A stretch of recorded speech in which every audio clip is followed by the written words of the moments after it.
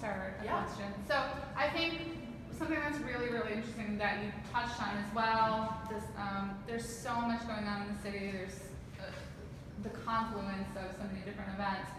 So I think with that, you have a lot of different voices that are weighing in and this and that, and people that can tell you what's important or what you should do. So how people choose the voices that they listen to, because I think that's really important, is finding the voices that that matter to you. So I'm just curious how you do that for yourself. I know your mom's Sure. a huge influence, and Sylvia. Sure. But so how do you tease that out for yourself?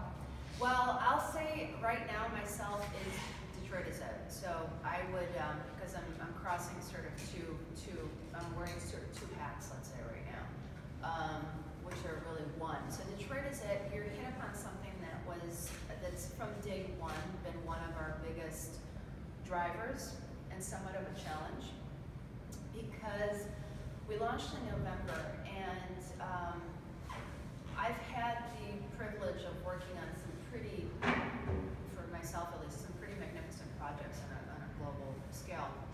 And one of them was the rebranding strategy of the city of Los Angeles. And that led to also the rebranding for Atlantic City. And why I bring that up is communications and local and global communications and programming around that are key, specifically to the place. And when you look at a brand and when you look at what that brand represents, in our case, our brand is actually Detroit. We are not looking to be Detroit by any means, of course, but we are looking to embellish or enhance the mission and the story of the city itself. And I that city has also had a challenge with finding its own voice because of the fact that there are different interests, of course, different races, different ethnicities, age groups, you name it, income levels, of course, like any city. But I think you can also help harness what that MO is for that brand. Ultimately, that brand is the city of Detroit. Um, so for us, finding the voice that was personable, that was relatable, that sounds like it's a friend, um, is really key because I don't put us in the same um, mix as, um, although they're incredible, we're not a um, you know average, let's say, media platform. We're really actually positioned to be a motivator for new ways of thinking for cities. And I think that to your point, you, you could have actually touched upon something that's more critical for us in particular, that the voice of what you're delivering needs to be something that's representative of what you're doing. And one of the challenges that I had was actually finding individuals within the city that could help define that. Um, for many reasons. One, I think a lot of talent, although it's incredible here, a lot of really good talent leaves for many reasons that I probably won't need to go into. Um, and it's also a nascent market. This isn't, Detroit's not a market that has oodles of opportunities for experience so that somebody, if you're looking for somebody to deliver a voice, that you know to go to these 17 people that have that expertise, you know what I mean? So it's a lot of which I kind of love. It's a lot of trailblazing and finding your way. Maybe it's not even through people that are experts in what that is, which is also what I like. But finding somebody that has a, a uh, perspective that's unique. And in our case, we ended up um, having the opportunity to work with somebody that's pretty incredible. Her name is Courtney. And she is now leading our charge on The Voice. And I think that we really are finding our way there and are completely open to ideas that anybody has or thoughts on that too. Um, but that's a long-winded question, answer to maybe a short question. That's our perspective on Yeah. voice. That's great. Anybody else? question? Yes, yes. So since we're talking about commitment, and you said that you started your own publishing company at 23, and I'm sure there were a lot of ups and downs Yes. and a lot of Yes. self-doubt and all these things, right? So what were what did you do to be able to stay committed to your vision to make sure that you were successful? Because I'm sure there were times where you say, "Is this really Ah. going to work or not?" So many. I remember one time we were sitting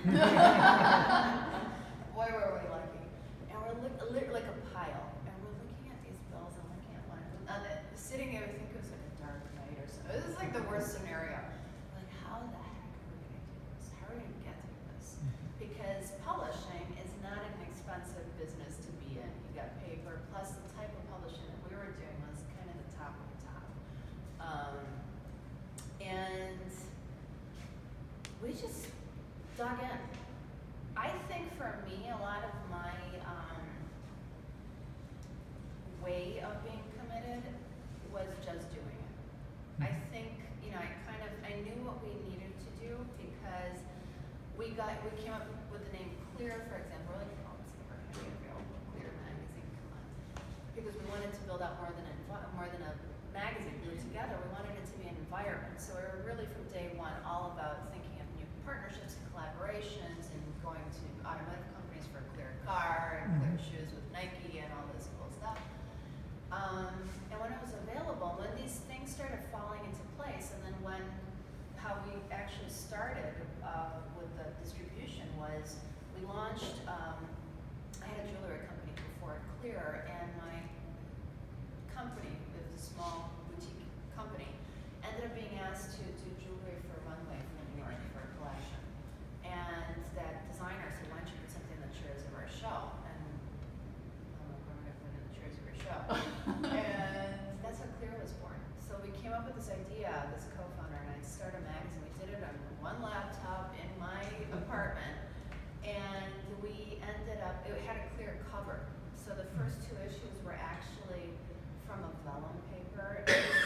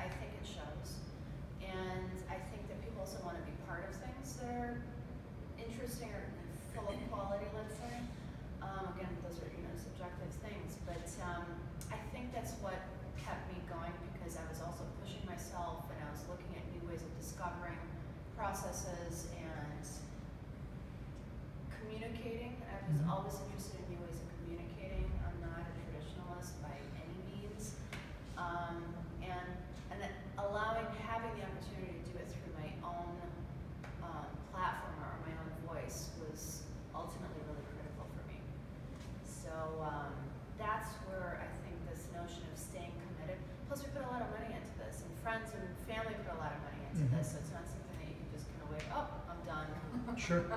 It's too hard. Okay. No, it was a very, very difficult process. But once we started getting it moving into something magnificent, wow, when Yeah. life became a little bit different, then you're like, oh, this is why I should stay committed. Thank you. Thank you. Any other questions? Okay, then Thank I you think we're for good. having me. Awesome, thank Thank you so you. much. It's a treat. Awesome. I I just want to echo again what Alana said, that idea of just doing it. You know, um, I think we have a really unique opportunity in Detroit is that because we don't have those established channels and everything, that we have such an opportunity to DIY stuff. I know I've done that in my own life. Like I love it. you're like, I don't know what I'm doing, but there's beauty in that of just figure it out. Because how many times do we stop ourselves from doing something because we feel like we don't know what it is. Just do it. So if you guys have those ideas, do it. And I think Detroit supports that. So. uh,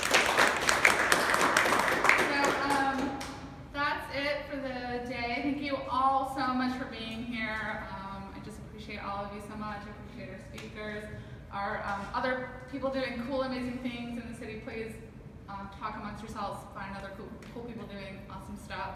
Thanks to Red Bull, um, Shannon, Robert David, Allison, um, Amelia, Drifter, and Elia. God, saviors, thank you. Tammy for bringing bagels, thank you. Um, my wonderful volunteers, Andre Dick for doing video, and uh, everybody. So uh, grab some bagels, grab coffee, grab Red Bull, come do all the things, support all the people who support us, and uh, I'll stop. Thank you. Sorry to add one point, if anybody's a writer, creative, graphics, designer, Detroit is it, check it out, come talk to me, we're, we're all about, we're a startup, we're lean and mean, but, um, we're a machine. Yeah, and check out their um, Instagram account. Like I Yeah, find sign up, Detroit is it, please Yeah. support. I love, you guys do a really cool feature where um, you have, do little contests or you have Yeah. people do uh, like fun, cool things in the city. Yeah. And had a couple things that I'm like, where is that? What is that? I want to find That's that. So check it out. It's amazing. Awesome. So thanks everybody.